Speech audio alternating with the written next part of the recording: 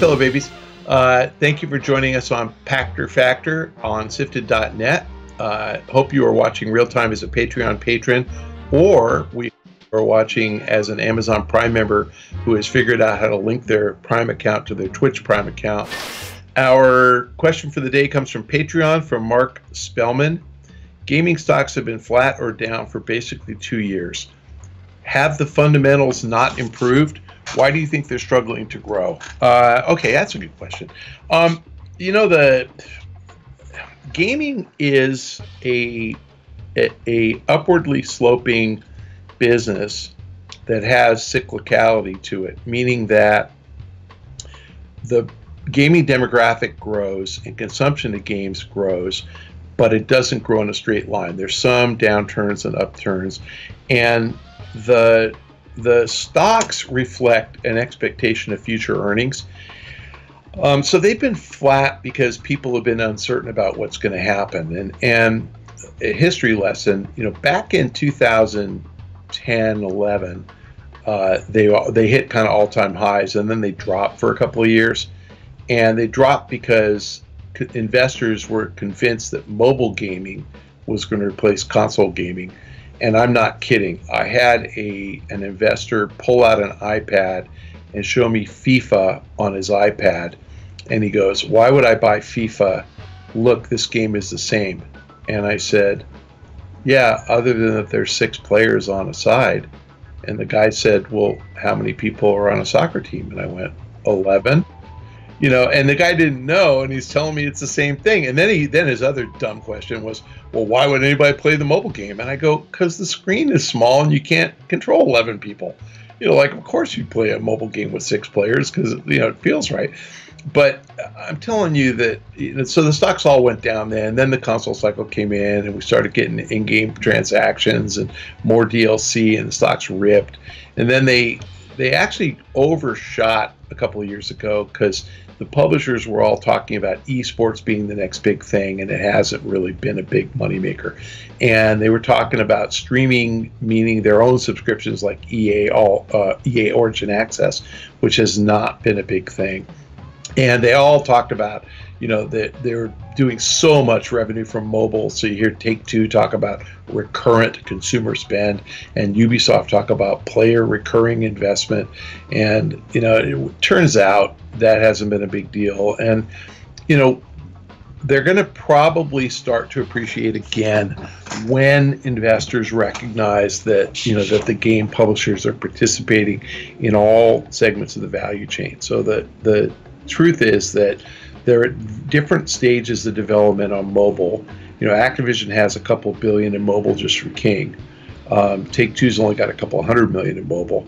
They're at different stages of development in free to play, so they all approach it differently. You know, Take Two does, gosh, probably six, seven hundred million in free to play, built into paid games like Grand Theft Auto Online and Red Dead Online and NBA that you have to buy the game first, but then you can spend money in the game on an ongoing basis.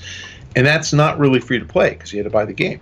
But you know, imagine if GTA Online was free, as opposed to Apex Legends, which is totally free. And so you know, people have uh, they understand that that could grow or Call of Duty Warzone, which is totally free, so we can see how that could grow. So there's free to play, you know, desktop and console. There's mobile that they're participating in varying degrees, and you know, then we get into is esports actually going to be a thing, and it could be. Uh, I, I think it's an advertising model, and I think you got to have the game that people want to watch in order for it to become a big deal. But frankly, I think Blizzard might have some of the games we want to watch. I actually think a StarCraft esports league would be awesome if they could build a new StarCraft for, for this decade that people want to play. Um, and we're going to get you know new mobile properties like Diablo Immortal that people are going to play, and that could that could kill it in China if China ever opens back up to U.S. games. Um, so the big thing I think on the horizon is streaming of games without a console, and so Google Stadia does that. The business models are stupid, and nobody signed up for it. Uh, Amazon I think is going to do it, and I think when Amazon says, "Look, we're just Walmart in the cloud. You want to play FIFA? Sixty bucks. Thank you very much. You don't need a console." That'll work. So I think the gaming stocks are positioned to really, really appreciate in the next five years if I'm right about Amazon offering streaming, and I think I'm right. Um, so they haven't moved because of uncertainty. I think a lot of investors are just convinced that you know gameplay is moving away from console games and toward free to play games like Fortnite, which is a private company, uh, League of Legends, which is quasi private, but both of those companies have Tencent as a big investor. Um, and, you know, PUBG, you know, things that are just not U.S. publishers.